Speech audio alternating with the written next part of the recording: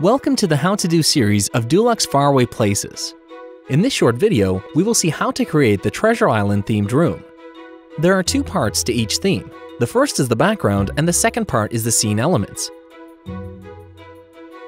Let's see what's in the kit. 6 Dulux Color Play packs, a set of stencils, a set of stickers, the How to Do guide, a reference sheet, and two masking tapes. Step 1. Creating the background wall. As per the colors in section B in the reference sheet, you will need 2 liter Hidden Harbor, 1 liter Skywatch, 1 liter Ivory Sampler of Dulux Easy Care, a roller, and a brush. Don't forget to use the How to Do guide during the application process. Apply Dulux Easy Care to create the background wall.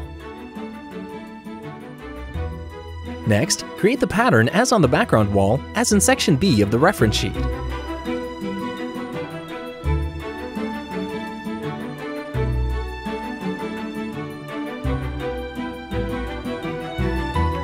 Your step 1 is now complete. Step 2 is creating the scene elements as in section C of the reference sheet. Apply the stencils for the scene elements one at a time. Firmly paste the stencil on the wall. Carefully peel off the inner portion of the stencil. Repeat the process for the other stencils.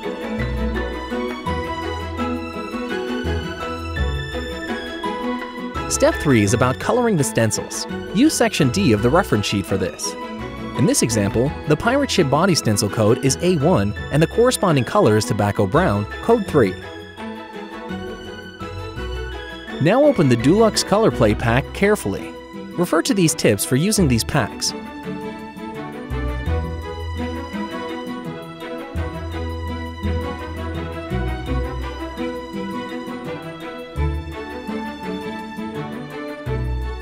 Start applying the color on the stencil.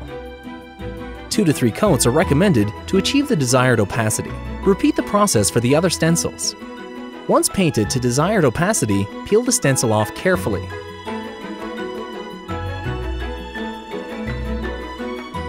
Step 3 is now complete. Step 4 is the final step where we put the stickers on the stencils. When the paint has dried, simply place the stickers on the stencils as shown in the reference sheet. The creative process is complete, and you are one step closer to being transported to those once upon a time in faraway places memories.